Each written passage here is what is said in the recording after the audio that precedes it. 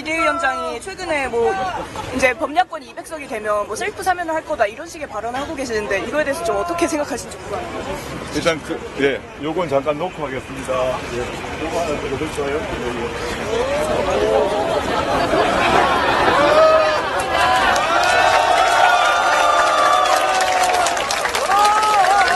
영어로도 준비를 해오셨어요.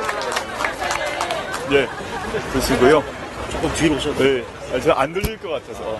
지금 한동훈 비대위원장이 갑자기 개헌을 얘기를 하고, 그 다음에 개헌을 얘기하면서 뭐 200석 또 뭐 개헌 저지선 이런 말을 한동훈 비대위원장 등이 하고 있는 것 같습니다.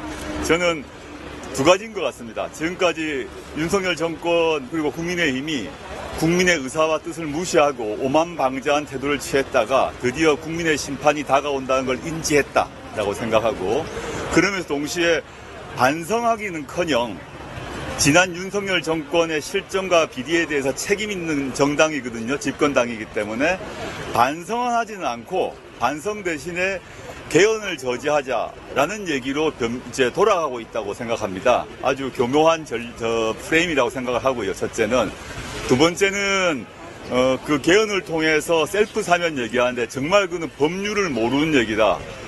사면권은 대통령에게 있습니다. 사면권은 국회에 없습니다. 전 세계 어느 나라에서 국회가 사면권을 갖는다는 얘기는 들어본 적이 없고 우리나라 법- 헌법에도 그런 적이 없습니다. 만약에 윤석열 대통령에게 한동훈 비대위원장이 개헌, 개헌을 통하든 개헌- 개헌을 하지 않든 저에 대한 사면을 뭐 건의한다는 건지 도대체 속셈을 알 수가 없고 그게 도대체 무슨 말을 하는지 이해할 수 없는데 마음이 급하고 불안하고 초조하시니까 막 던진다 생각하고 있습니다.